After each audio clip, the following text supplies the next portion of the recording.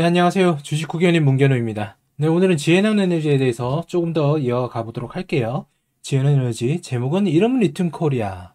10월까지는 영화 배급사 이거입니다. 자, 오늘도 멤버십 가입해 주신 분들 다 소개를 해드려야 되겠죠. 어, 자반님, 그 다음에 박주영님, 김현주님, 전원진님, 사냥꾼 코털님, 비타민님, 강나나님, 너무 감사드립니다. 아이고, 갈수록 이렇게 또 회원 가입해 주시는 분들이 너무 많아 주셔가지고 제가 또 책임감 가지고 좋은 정보를 많이 알려드릴 수 있도록 노력하겠습니다. 너무 감사드립니다.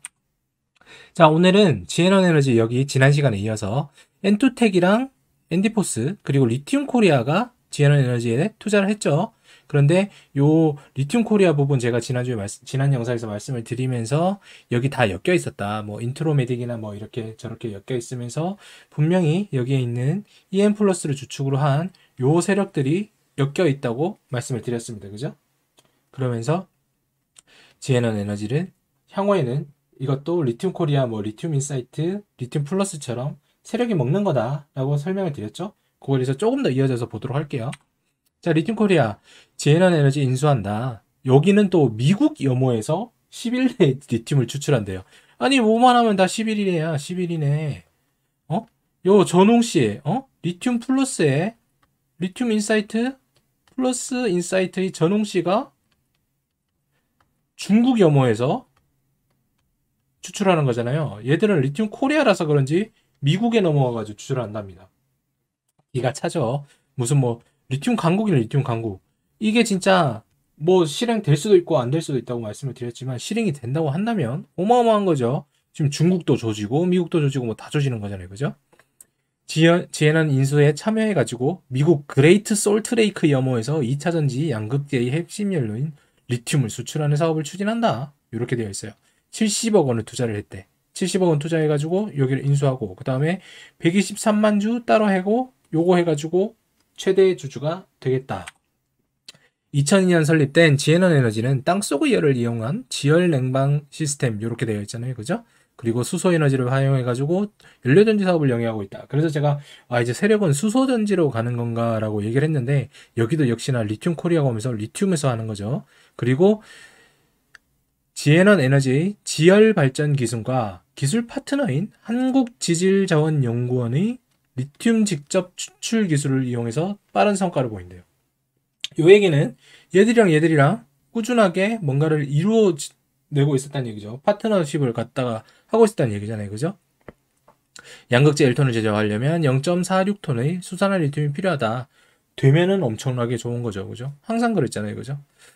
물에 용해된 염수 리튬과 광산에 채취하는 광석 리튬으로 구분되고 그 다음에 염호에 87%가 외정되어 있으니까 요거를 해야 된다.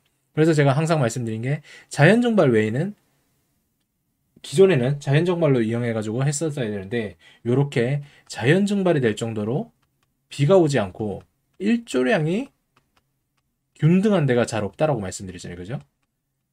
그래서 요게 되면은 대박인데 안 되면은 뻥카다라고 말씀을 드렸는데 아직까지 리튬 플러스고 뭐고 특허 외에는 나온 게 하나도 없어요.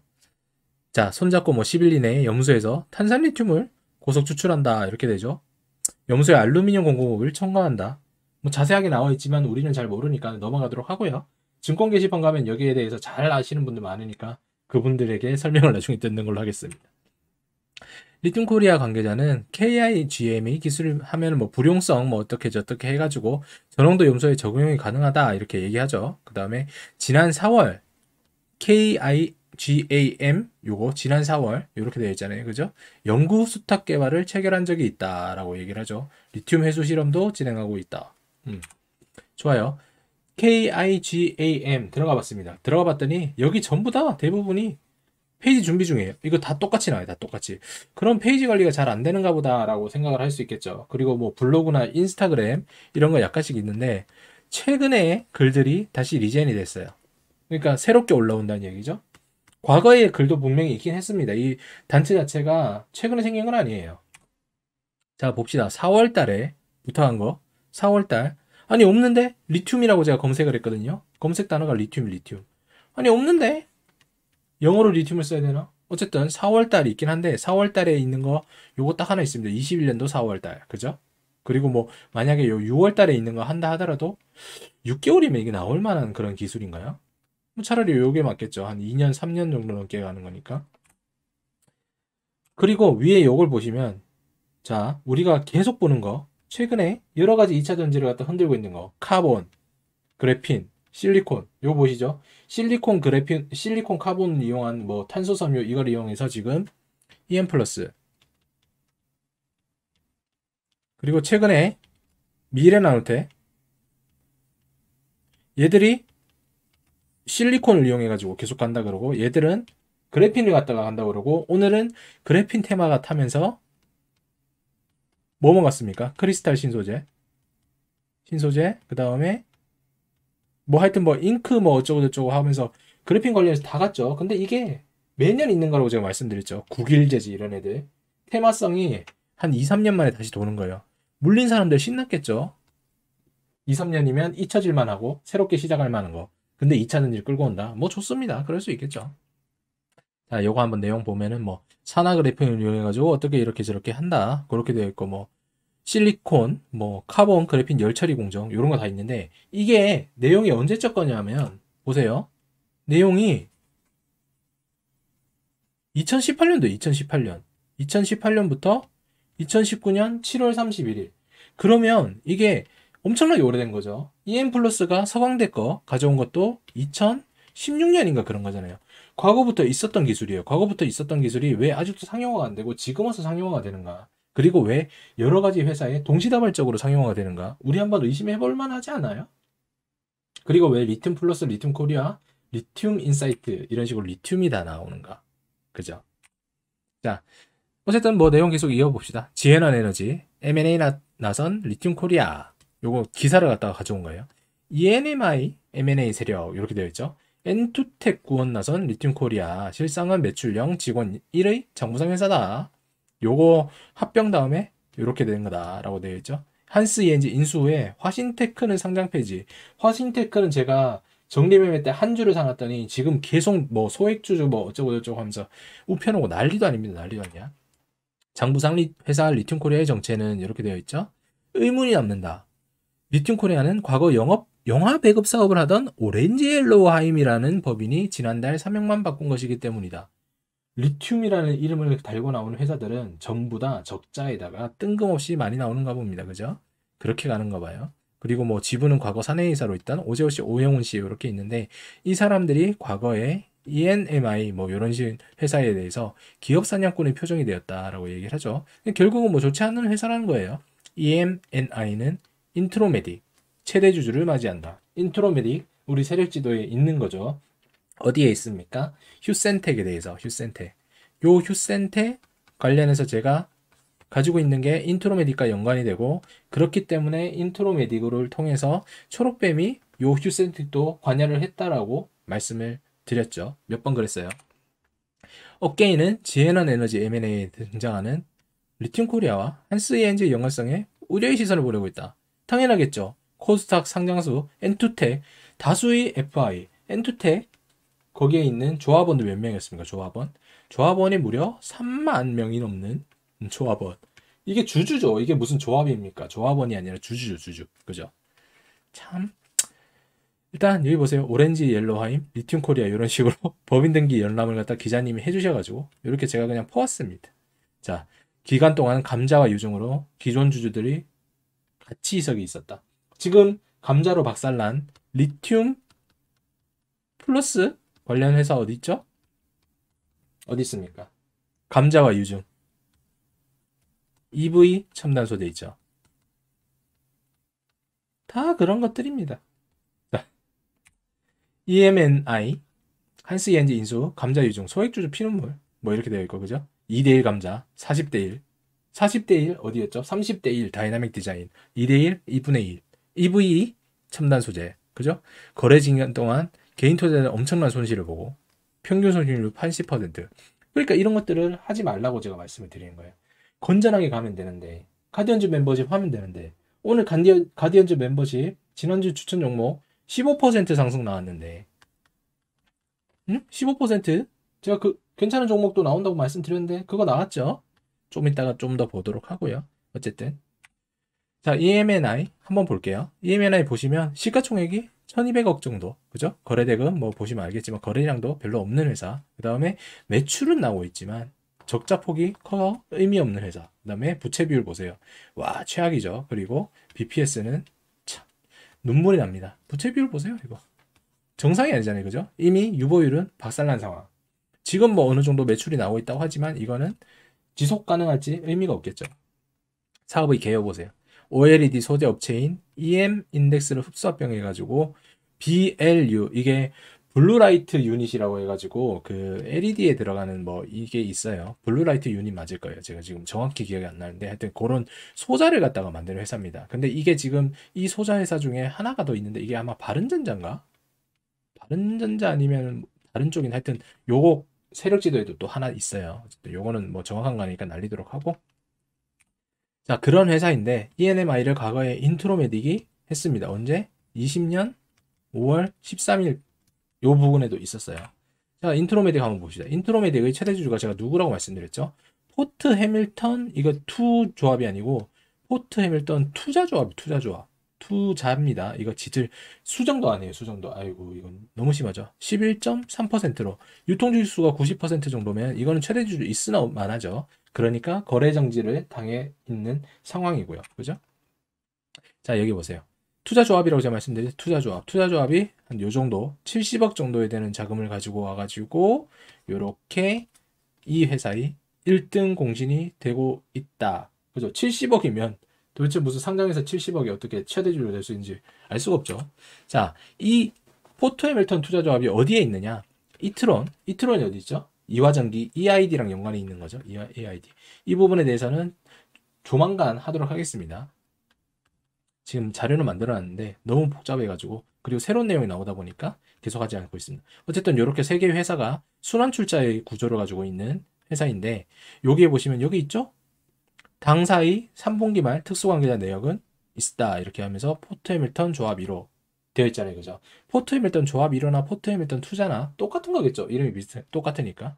자 어쨌든 휴센텍이 얘들을 얘들 때문에 지금 회사가 작살이 났잖아요. 그죠?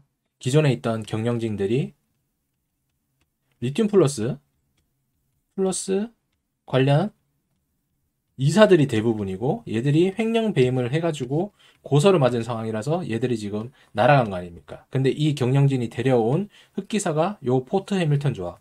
실제로는 이화전기나 EID, 이트론 얘들이 휴센텍 이전에 있었던 회사 이름이 제가 생각이 안 나는데 그 회사의 실질적인 지배였는데 여기 있는 그 여기 대표이사가 얘들을 갖다가 싸우면 얘들이랑 싸우면서 날려버린 거 아닙니까? 날려버리면서 얘들이 아 나 그래 포기할게라면서 나가는 척 하면서 포토에밀턴을 갖다 심어놓고 간 겁니다. 포토에밀턴은 향후에 여기에 남아있는 경영진들 리튬 플러스 요 사악한 애들 얘들과 함께 휴센텍을 먹어버리는 거죠. 근데 여기 연관되어 있는 게 뭐가 있다? 어, 그건 좀 이따 보시고. 어쨌든 요 포토헬미드 투자조합은 최근에 처분을 당했어요. 이트론에서. 어디로 갔는지 아직 못 찾았습니다. 자, 이게 어떻게 있다? 여기 보시면 2019년 2월 8일. 아까 우리가 봤을 때 20년 5월이었잖아요. 그죠? 그, 어디였냐? 회사 방금 지금 EN 뭐 어쩌고 했던 그 회사 있잖아요. ENMI였나? 거기에서는 2020년 5월이었는데, 여기 인트로메딕에 초록뱀이 나온 거는 19년도입니다. 19년도. 19년도. 그죠? 빠르죠? 19년 나오고 이화전기는 여기 보시면은 21년도, 21년도에 이렇게 휴센텍과 싸우기 시작하는 거죠. 그러면 보세요. 인트로메딕의 지금 최대 주주가 포트 해밀턴이잖아요. 포트 해밀턴. 얘들이 실질적으로 이트론에 있었죠. 이트론. 이트론이 이화전기의 그 다음에 EID의 세계 순환 출자 구조 라고 말씀드렸잖아요. 그죠? EID 이화 요 그러니까 요게 요거겠죠? 요게 요건 거고 여기에 이미 초록뱀이 들어가 가지고 같이 알던 사이인 겁니다. 그러고 나서 이제 휴센텍에서 이화장기가 빠지는 척 하면서 초록뱀 애들이 여기 들어간 거예요. 근데 이거 갖다가 계속 뭐 온영식, 뭐 온영두 뭐 얘기를 하는데 온영두도 제가 말씀드렸지만 이 초록뱀에서 모든 걸 다 들어갔다고 말씀드렸어요. 스튜디오 산타클로스 그 신기술 초록뱀 신기술에서 돈 넣으려고 했다가 날아갔죠. 모든 건 W 홀딩스 컴퍼니 여기가 주축입니다. 여기가 다 주축이에요. 거기서 지금 파생이 되는 거죠. 리튬 코리아 그런 라인. 지금도 보면은 여기 같이 들어온 거 엔투텍이 들어온 거기 있잖아요. 지엔원에너지. 여기에 엔디포스가 들어왔죠. 엔디포스. 엔디 인베스트 들어왔잖아요. 이 엔디 인베스트도 과거에 원영식 이분이 건드린 겁니다. 그런 거예요. 자, 보시면 이제 이화정기가 최근에 윈저 참수, 그 인수전을 참여한다 그러잖아요. 근데 여기 보세요. 원래는 WI가 같이 들어가려고 했던 거를 갖다가 이화정기가 들어가는 거예요. WI 누구 거다? 누구랑 연관이 되어 있다? 리튬 코리아잖아요. 다 연관이 돼 있는 거예요, 이게. 지금 얘들이 다 같은 편이라고요, 다 같은 편. 이래도 뭐 아니라고 하시면 또 할 수가 없죠. 자, 어쨌든 간에, 요렇게 되어 있고, 번외로 지금 제가 세력정, 그, 세력지도에 있는 것들, 과거에 없었던 것들은 다 정리를 하고 있다라고 말씀드렸던 게, 요런 부분이에요. 지금 보시면, KH건설이거든요, KH건설. 요게, KH 기존의 이름이 ENT였어요. 요거 앞에 이름이 뭔지 기억이 안 나는데 하여튼 요렇습니다. 요런 거고 지금 보시면 여기 있는 IHQ 그 다음에 KH 필루스에서 지분을 다 정리하고 있어요. 이제 안 된다 이거죠. 단가 보세요 단가. 이런 가격에 계속 정리를 하고 있는 겁니다. 이 가격에. 올릴 생각이 없어요. 최대 주력 팔고 있잖아요. 여기도 KH 필루스에서 계속 팔고 IHQ에서 또 팔고 더 낮은 단가에서도 그냥 파는 겁니다. 이제 여기는 못 쓴다 이거죠. 못 써? 버리자 이런. 세력지도 잠깐 볼까요? 자 이렇게 되는 겁니다 결국. 제가 잠깐 사라지면. 여기 보세요. EM&I에 여기 인트로메딕이랑 연관이 되어 있고 이 인트로메딕은 포트 해밀턴 투, 투자 조합을 통해서 휴센텍과 그 다음에 이화전기 이렇게 연결되어 있고 여기 보시면 엔디포스. 엔디포스는 쭉쭉쭉쭉 이렇게 타고 내려가면 또 결국 또 초록뱀이 되어 있고 초록뱀은 여기 이렇게 쭉 가서 이렇게 다 연결되어 있고 금호 HT를 중심으로 한 모든 세력들, 이스트 버건디, 조경숙 라인 그렇게 되어 있고 그죠? 여기도 보시면 EM&I가 WI랑 되어 있고 WI에서 AT 세미콘, 음? 리튬 플러스 이런 식으로 GP 클럽이 들어가고 하이드로 리튬이 연결이 되는 하나도 빠뜨릴 수가 없는 거예요. 그래서 제가 말씀드렸잖아요. 하나하나씩 이제 청산할 거다. 몇 년 동안 해먹고 올리지 못하는 애들은 날려버린다. 그래서 여기 애들 지금 날아가고 있죠. 요거, 요거, 요거 날려버리잖아요. 날려버리고 살릴 거는 요거 두 개 정도 살린다고 말씀드렸고, 그죠? 여기 있는 애들은 도저히 못 살리고, 지금 초록뱀 라인, 여기 있는 애들도 못 살리죠. 그래서 신규 세력을 갖다 늘리는 겁니다. 리튬 코리아에서 여기서 해먹는 거고, 여기는 엔캠을 주축으로 한 리튬 2차 전지를 만드는 거고, 여기는 리튬 플러스를 주축으로 한 2차 전지를 만드는 거예요. 그래서 여기가 A, B, C 이렇게 큰 그림을 볼 수가 있습니다. 상지 카일론까지 가면은 D까지 나올 수 있겠죠. 근데 여기 중간중간에 미래나노텍, 금량, 그 다음에 하이드로 유튬이 이런 식으로 다 박혀 있다는 얘기. 뭐 물론 소설일 수도 있어요. 소설일 수 있겠지만 아닐 수도 있겠죠. 그러니까 우리는 이런 종목에 대해서 유의를 해야 된다라고 말씀을 드리는 겁니다. 차트 한번 볼게요.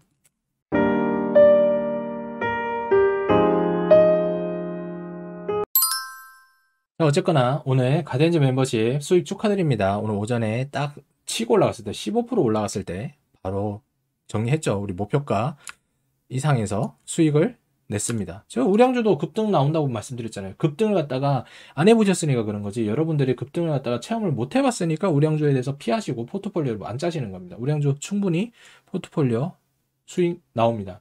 그런데 좀 안타까운 거는 이제 매주반 하시는 분들은 요거에 대해서 수익을 보셨을 텐데 격주반 하신 분들 특히나 지난주에 종목 못 받으신 분들은 이 종목을 받지 못하셨어요. 그래서 조금 아쉬운 점이 있는데 어쨌든 우리가 꾸려가는 종목들은 다시금 나올 수 있는 수익 비슷하게 나올 수 있는 거니까 저도 이렇게 갑자기 튈 줄은 몰랐습니다. 그렇지만 어쨌든 우량주도 급등이 나온다. 그러니까 우리가 보유가 있는 포트폴리오를 계속 꾸준히 한번 지켜보면서 목표 수익률인 10% 이상을 지켜보자 말씀을 드리고 싶고요. 자, 지에넌 에너지 보자면 이제 많이 빠졌죠? 이렇게 구린 모습을 보이고 있어요. 구간대를 갖다가 강하게 뚫건 있지만 여기 종고점까지 가려고 하는 모습은 보이고 있는데 여기가 계속 눌러주고 있잖아요. 그러면 한계가 어느 정도 선에서는 올 거란 말입니다. 그리고 회사가 리튬 플러스, 리튬 플러스. 리튬 코리아죠. 리튬 코리아. 리튬 코리아. 이제 리튬 플러스가 한물 가야 되는 입장. 리튬 플러스 리튬 인사이트 관련들이 떨어지고 금양 미래 나노텍이 추세가 약간씩 변하려는 그 상황에서 리튬 코리아가 나온다.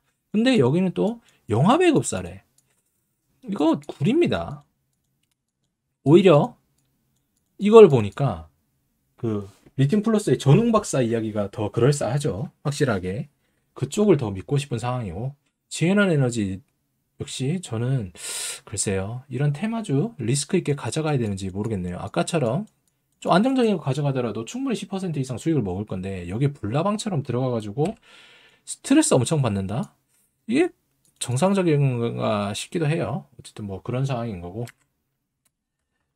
이 N NI 자 ENMI 이거는 뭐 말도 안 되죠 이거는 거래 정지당했다고 풀려가지고 와 차트 보세요 차트. 이게 지금 사람이 사야 되는 차트입니까 이게? 정상적인 차트가 아니죠. 그죠? 최고가 21만원인데 최저가 3, 3,920원. 그죠? 이런 회사를 갖다가 작업을 한, 한 회사가 리튬 코리아로 들어가서 지금 지에넌 에너지를 찾았다. 응? 이거 하고 싶으세요?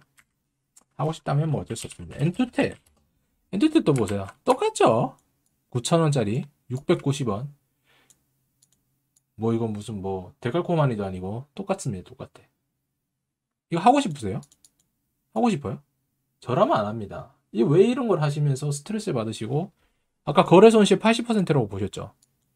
이런 걸 왜 하시냐고 80% 이해가 안 되는 거죠.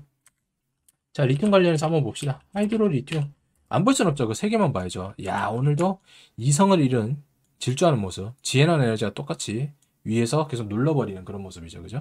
거래량은 점점 줄어들고 있습니다. 거래량이 줄어드는 걸 어떻게 해석을 해야 될까요? 어떻게 해석을 해야 될까요? 여기 보세요. 여기 보세요. 아예 안 보이잖아요. 그죠? 이걸 어떻게 해석을 해야 될까요? 잘 한번 생각을 해보세요. 이게 과연 맞는지. 응? 증거금 100% 회사. 이게 과연 맞는 건가? 한번 생각해 보시죠. 자, 금량. 금량은 어, 오늘 정고점을 뚫고 나서 그 다음에 여기 라인 못 지키고 있죠. 빠졌죠. 올렸다가 올라가서 돌파할 수 있나 싶었는데 빠져버린 상황.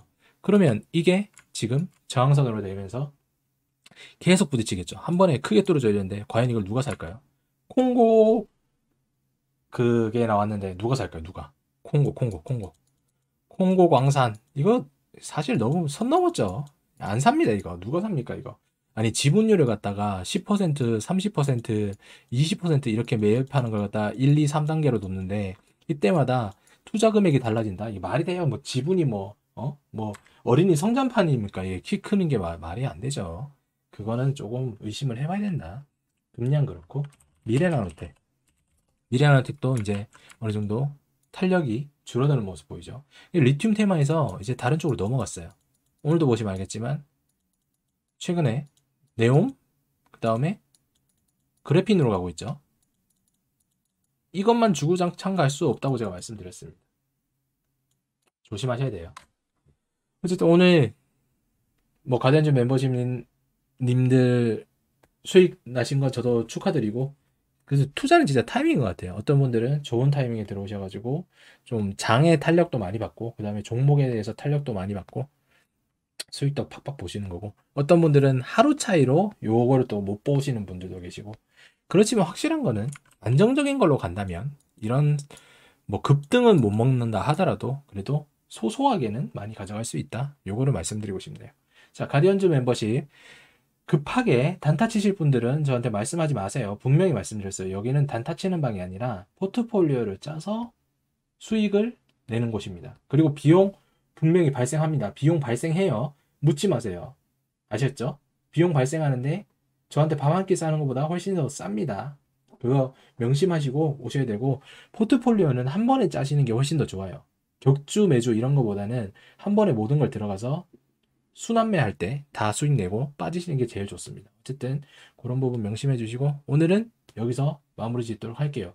리튬 코리아, 리튬 플러스, 리튬 인사이트 관련해서는 뭐 좋은 쪽이든 나쁜 쪽이든 빨리빨리 방향성이 나아졌으면 하는 바람입니다.